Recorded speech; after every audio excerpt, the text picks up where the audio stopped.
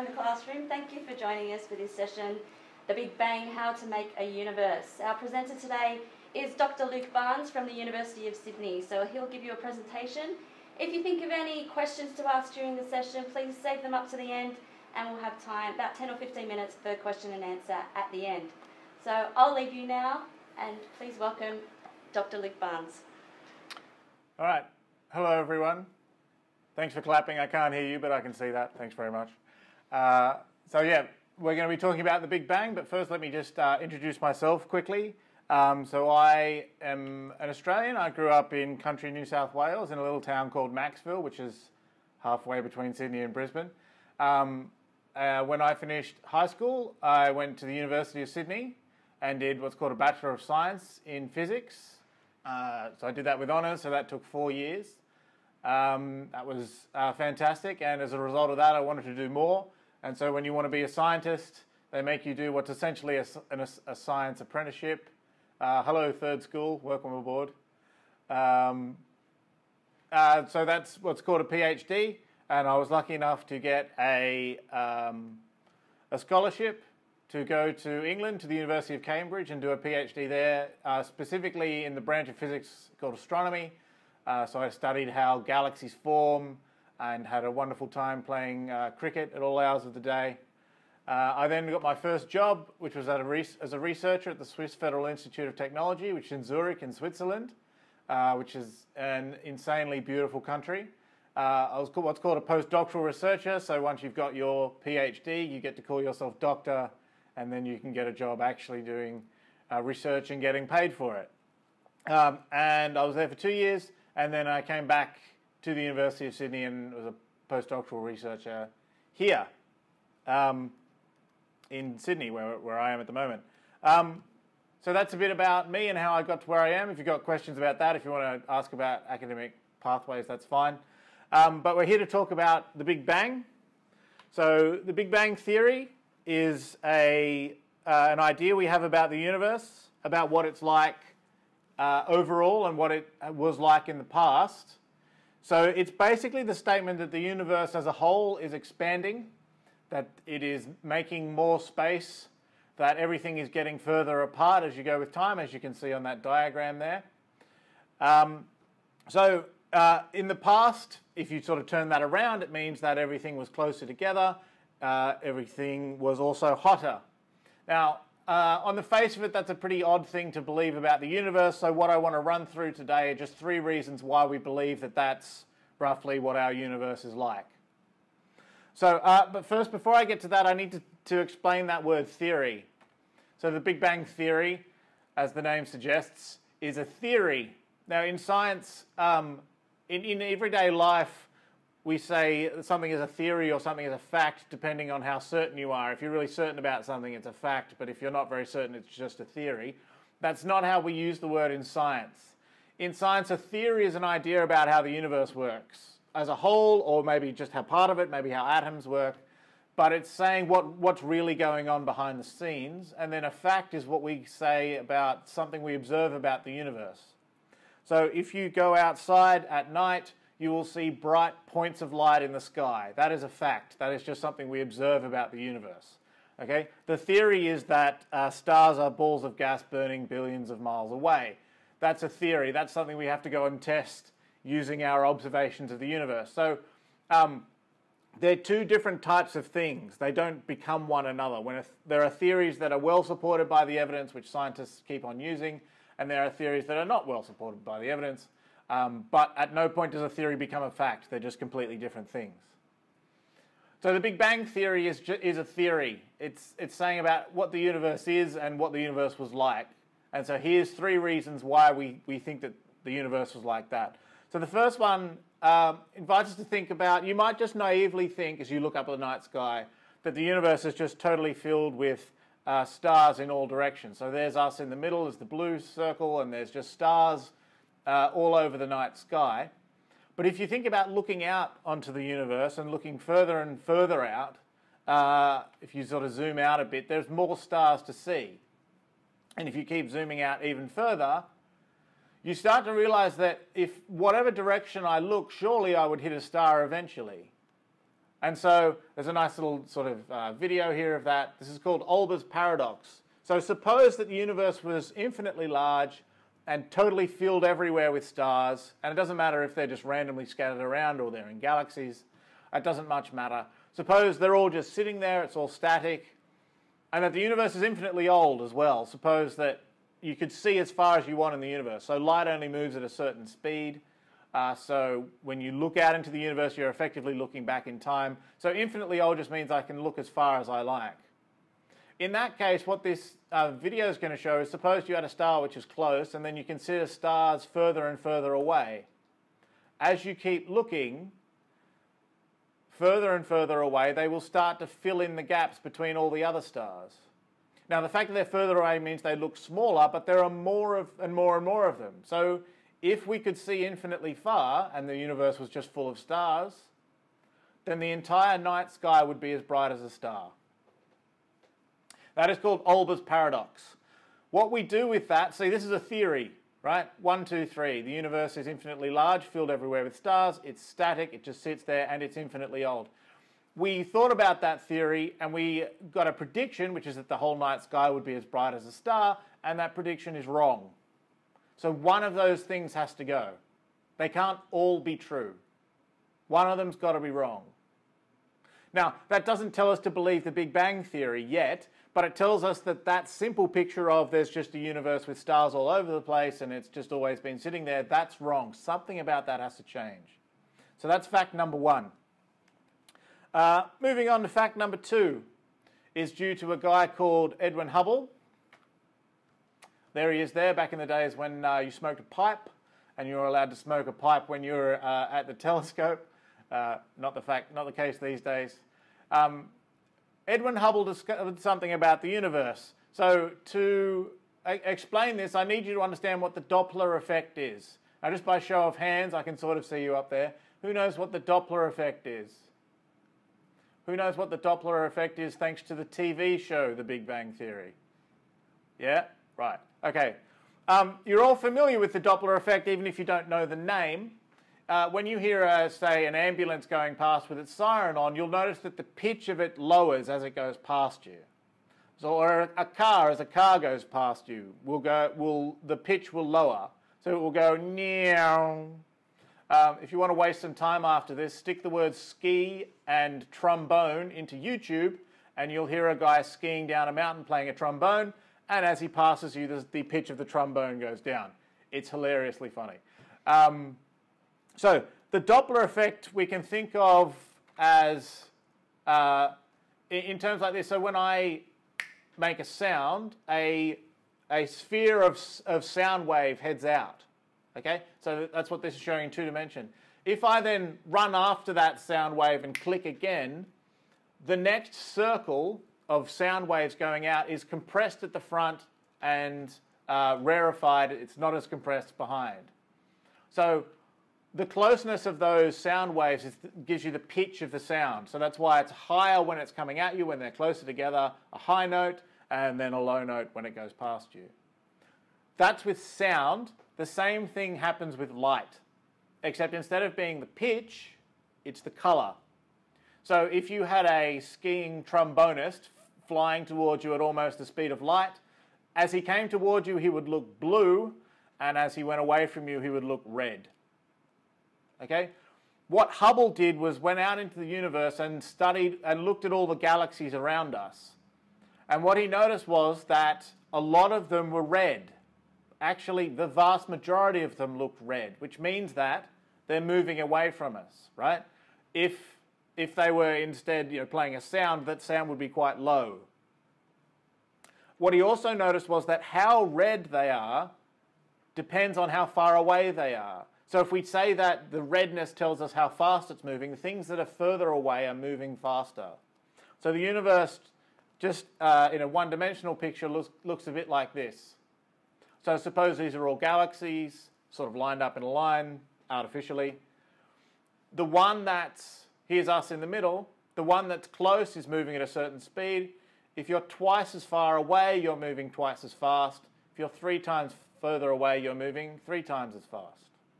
And so as the universe expands, as time goes on, the whole thing expands like that.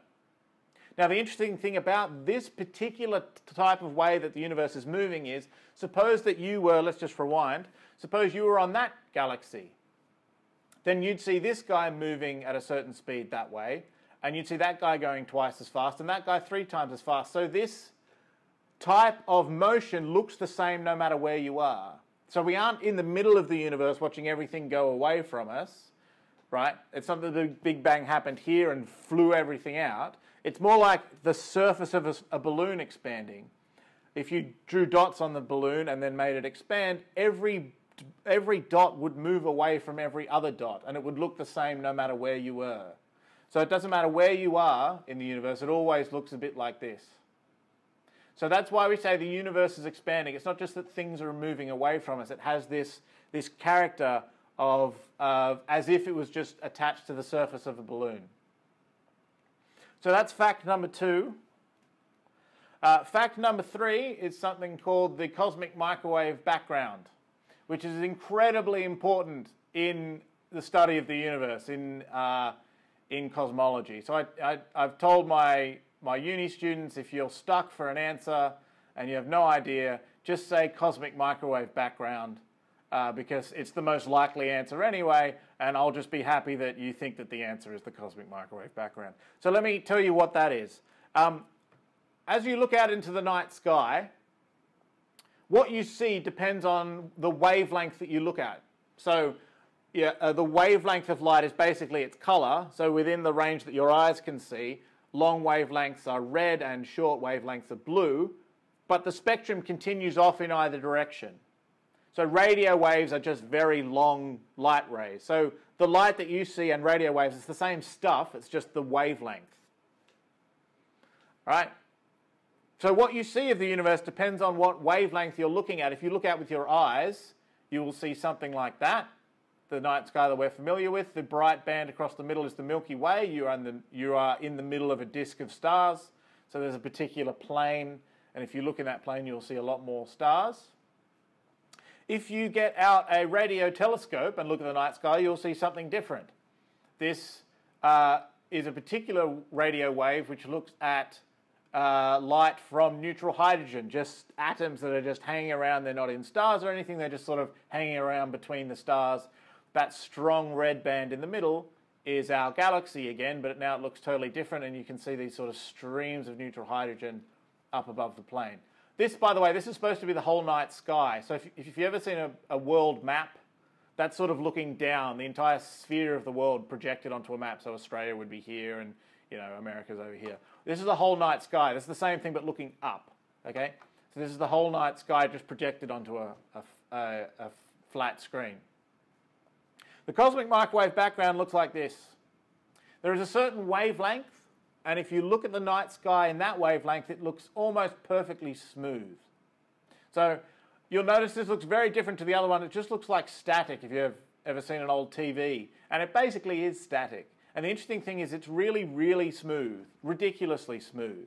So these represent areas. The red bits are where the, uh, the light is slightly more energetic and the blue bits are where it's slightly less energetic, but the difference is only one part in a hundred thousand. So really, if we just if you had eyes and you were looking, if you had you know cosmic microwave background eyes and you could look at that, it would be it would look almost perfectly flat, just a completely boring matte picture. Now, the really interesting thing about the cosmic microwave background is what it tells us about the universe. Okay? Um, if you go and take a survey of all this light and say how much of it is high, really energetic and how much of it is slightly less energetic, you can sort of build a picture of there's this much, uh, you know, low energy and a bit more high energy. If you put all of that in the form of a, what's called a histogram, which hopefully you're familiar with, it looks like this. Now the important thing about this is uh, the bars there, the vertical bars, are the data. That's what we actually see. Those are the facts, right? The line going through the middle there is the theory. And the fact that it goes exactly through all those lines is fantastic, right? It means we're doing something right. In particular, that line was uh, derived, the mathematical equation there was derived uh, 90 years before the data got put on that plot by a guy called Max Planck. And he made a very specific model for why that particular line looks like that. You know, as a physicist, we've seen that shape before. This shape, we're very, very familiar with. You get that shape when the matter, the stuff, and the light, the radiation, are perfectly intermingled and are scattering off each other, and everything has the same energy. So if you let matter and light come into that equilibrium state perfectly, where everything's lovely and mixed, and uh, the average energy of a particle is the same as the average energy of, of a, a particle of light, that's when you get exactly this. The reason why that's so interesting is that the universe today will not do this. If you just looked at the universe today, there is not enough stuff and it is not dense enough and there is not enough radiation bouncing around to have the conditions you need for that curve. Which tells us something tells us that in the past the universe was different. Right? This curve tells us that at some point in the past, matter and radiation were perfectly mixed together, perfectly exchanging energy. So, what that means is that in the past, it must have had those conditions. And those conditions are specifically if things are denser, if everything's really tightly knit together, that would happen. And it would also help if things were a lot hotter. But as we saw before from our last clue, in the past we think that the universe, everything was closer together. If you run that movie backwards, everything gets closer. So there's denser, and it will also heat up as, as you turn things around. So this is another piece of that puzzle. This makes us think that in the past the universe was not only very smooth, but very hot and very dense. So everything was closer in together, everything was more tightly packed. So those are the three pieces of information. So what we can do now with that information is as follows. We can reconstruct the history of the universe. We can do it on average. So what this plot shows is the time. So if you just let the universe evolve.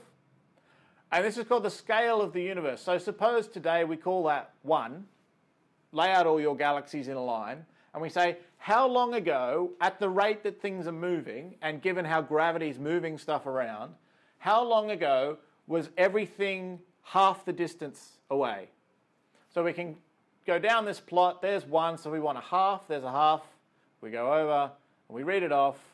And so today is about 13.8 billion years, so say 14 billion years. So half's about 6 billion years, so it was 8 billion years ago. We can reconstruct the history of the universe in this particular way. One particular thing we can do, which is great, is not just look at the overall average properties of the universe, but look at it in detail. We can start off with the picture we get of the universe from the cosmic microwave background, that things at the beginning were smooth, and they were hot, and they were dense. And we can say, okay, if there's a small lump of stuff, then gravity will make it collapse even further. So if I've got a lump of stuff here, it will, it will collect the stuff around it, because gravity is always attractive. If that were the only thing that happened in the universe, then eventually, as gravity brought things in, the pressure of the gas, like the pressure inside a balloon, would fight gravity. And so all you would get is a great big hot ball of gas. That's not what we see in the universe. So we need the gas to cool off to let gravity win even further to crush it down into a rotating um, galaxy. Once that happens, within that rotating sphere, stars will form, and but then they will feed back, right? So once a star fires up, you've suddenly got something which is really bright and just pumping out energy into the universe, which will push things away from where that star formed. But then they might uh, make things even more dense over here, so stars will form over there. So there's sort of a feedback loop. Stars, stars will form, but stars will push things around, which will make more stars somewhere else, but might prohibit stars somewhere else. We can take all of this, we can stick it in a computer, uh, and we can hit go on a simulation of how we think the universe would evolve. Uh, if we tried to do it on your average desktop computer, it would take about 500 years, so we don't do that. We get 4,000 computers, which is what I'm showing you on the screen, and we run them for a month and a half. And we hope that nothing happens to the computer in that month and a half. So I once came into work to find an email from the National Computing Infrastructure that included the word vaporized. The computer on which I was running my simulation had had a power surge which literally vaporized the power cord. And it was this was not your average power cord, it was about that thick. And it was just in two pieces. Anyway, enough about my problems. When this works, as it hopefully does, uh, it looks like this. So this is a simulation of what we think the universe will look like. Uh, the expansion of the universe has been sort of factored out. So this is what's happening on top of that. But you can see from that sort of staticky beginning, gravity is starting to pull things together. Gravity is starting to make the dense bits of the universe particularly dense. Once that happens, what you can see there exploding are stars that get to the end of their lives and blow up.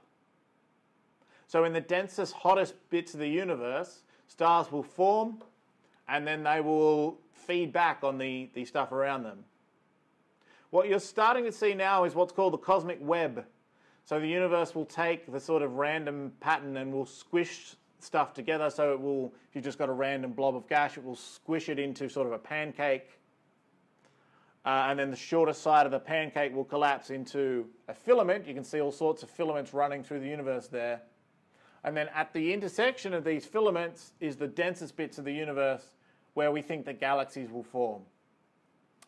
So that is that simulation. Now, what we really want to know is, at the end of the day, did we make anything that looks like a galaxy? Let me just do this. So what we're going to do now is take one of those simulations and zoom in.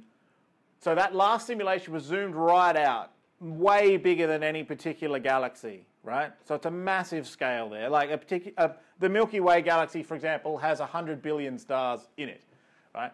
And we've zoomed way out bigger than even that scale. So now let's take that simulation and zoom right in on one of those knots and let's see what happens and see if anything that looks remotely like a galaxy will form.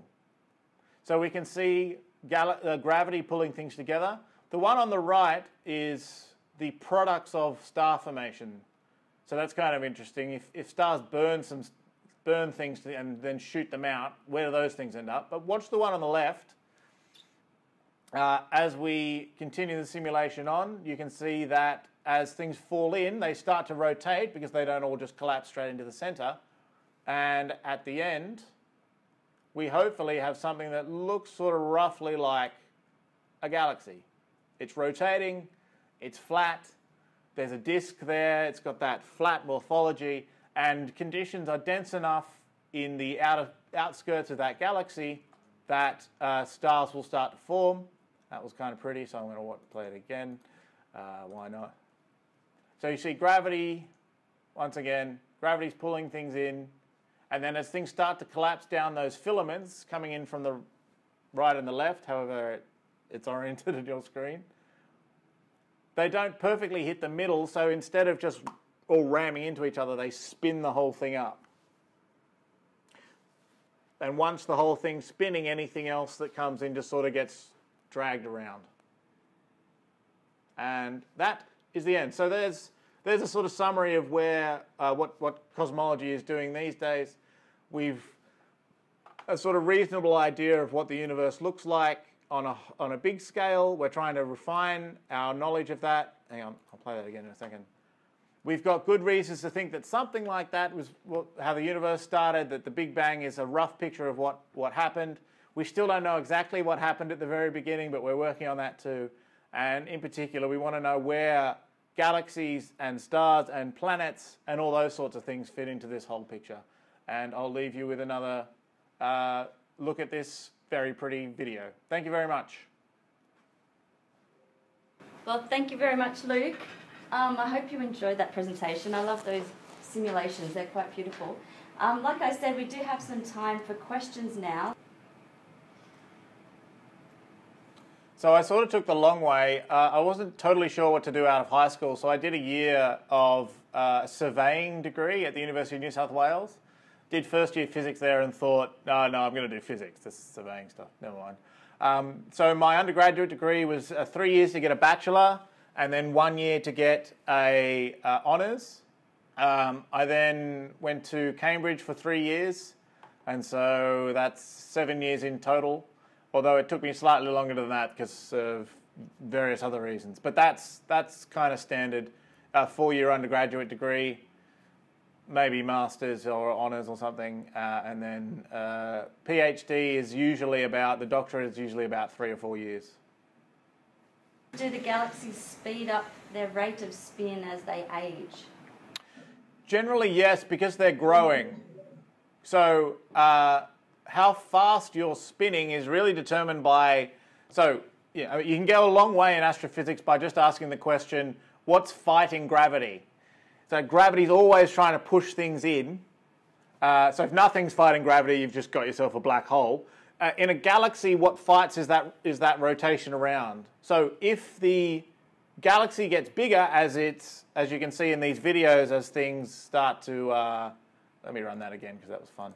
Um, as things start to grow and get bigger and heavier, they'll need to spin faster in order to sort of hold back the, the collapse of gravity. So generally they do, although uh, there's, there's a, an initial phase where things grow quite quickly and then uh, galaxies generally just have a sort of a, a, middle age where not much happens. They accrete a few things onto themselves, but uh, they'll generally just keep the same rotation. Great question. Um, these simulations usually don't run past today because we're trying to, I mean, we really want to understand what happened in the past to understand how things look today. So most of them will stop today. Um, there have been a few that run forward. Uh, actually, trying to run a few of those myself at the moment for various reasons. Um, the, the general trend of things continues that you get a higher. So, uh, the way things form in our universe is what's called hierarchical. You can sort of see it there. If you want to make a big thing, you first make smaller things and then you whack them together. So you make a big galaxy out of small galaxies. That will keep on happening, making larger and larger galaxies until uh, what we know about our universe is that the rate at which it's expanding is actually accelerating. It's not just getting bigger, it's getting bigger at a faster and faster rate.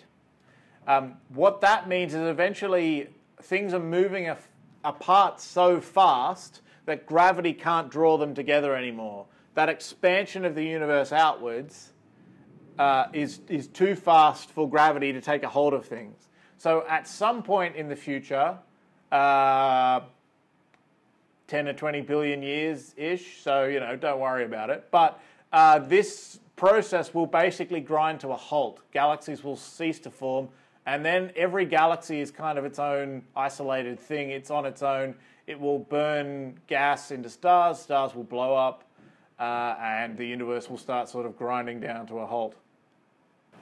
Okay, thank you for that question. Please join me in thanking Luke for his presentation today. Excellent.